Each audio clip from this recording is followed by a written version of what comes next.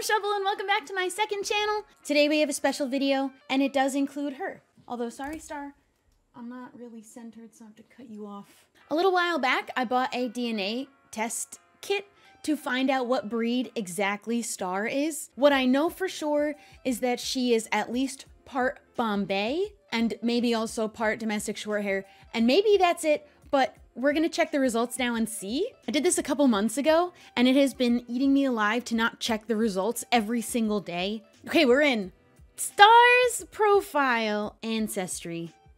It looks like she's mostly one thing. If that's what these little, if that's what these rings around her, look at her picture. We detected two breeds. It's literally only two breeds. I don't know why. I assumed there'd be just like, I don't know. We all saw my ancestry. And if you didn't, I'll republic that video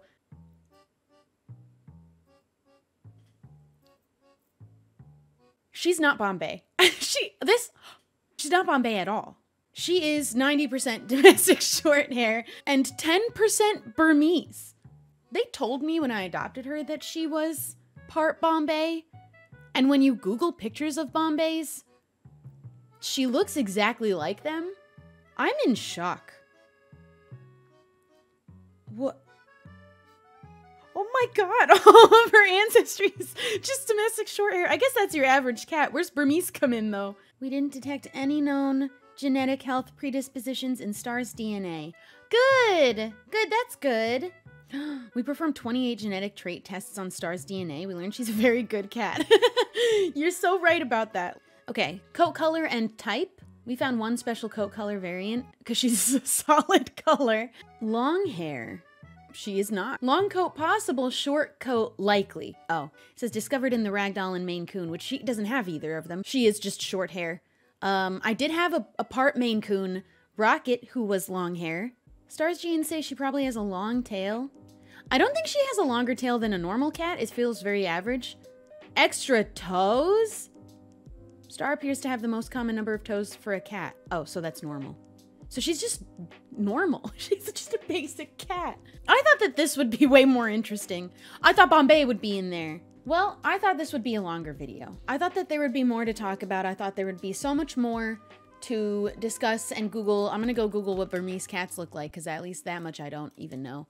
Whoa, they're funky looking! Whoa! So this is uh, what we're looking at with Burmese cats. She does kind of, in the sun, have a brownish tone to her, but I do think that's normal for a black cat. It's called rusting, actually. I could see maybe in the face. That's what made me think she really was Bombay, is this kind of like rounded eye and ear shape. Here's what Bombay cats look like, because I feel like this... Oh, that's a place. Oops. How is this not her? How is this not her? How is... What is the difference? What What does just domestic short hair even mean? Is Bombay... Bombay's a different thing. I'm pretty sure it's not the same thing. Because her face looks exactly like this one. But that also looks like every black cat I've ever seen, basically. Okay, I guess when you Google Bombay, it does say Bombay is a short-haired breed of domestic cat. Does that mean that she could still be Bombay? Is this like a coloring thing? Or is this different from domestic short hair? It feels different. Closely related to the Burmese. I just don't even know who she is anymore. Star, did you know you're not Bombay? I mean, I adopted her six years ago, but they, they were like, the only thing that we know for sure is that she's Bombay and domestic short hair.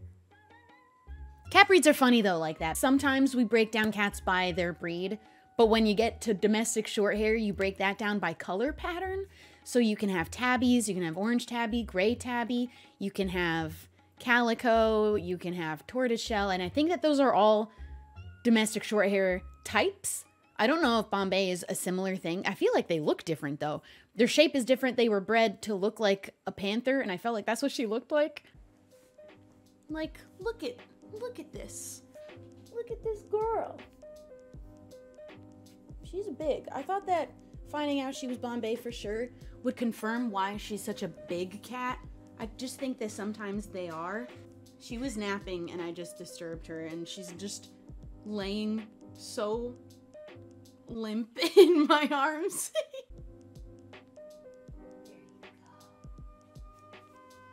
Alright, I put it back. I'm sorry. Oh, she's mad. All right, I'm sorry. You know what? The more I look at her, the less round she looks in the face. Like I always thought her ears were kind of rounded. Oh, she, oh, she just fell. Oh, I'm so sorry. All right, well, those are the results of Star's DNA test. Um, I thought it'd be more interesting than that, but this was fun. Thank you guys for watching. Leave a like, and I'll see you in the next one. Bye!